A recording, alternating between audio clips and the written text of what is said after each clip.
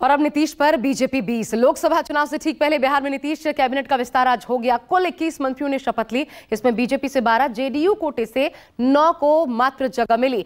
JDU कोटे से पिछड़े और अति पिछड़े और दलितों को ज़्यादा तवज्जो मिली है तो वहीं बीजेपी ने सवर्णों को तवज्जो देकर अपने कोर वोटर्स को साधने की कोशिश की है। बीजेपी ने यादव समाज से एक भी मंत्री नहीं बनाया। बड़ी बात।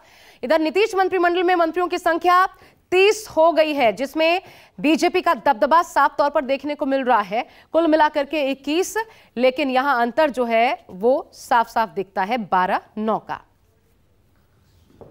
देर से ही सही, लेकिन आज 45 दिनों के बाद बिहार में कैबिनेट का विस्तार किया गया। 2024 लोकसभा चुनाव को ध्यान में रखकर जातीय समीकरण को साधने की पूरी कोशिश की गई। कैबिनेट विस्तार में सबसे महत्वपूर्ण बात यह रही कि बीजेपी ने अपने मंत्रिमंडल में यादव जाति को जगह नहीं दी है।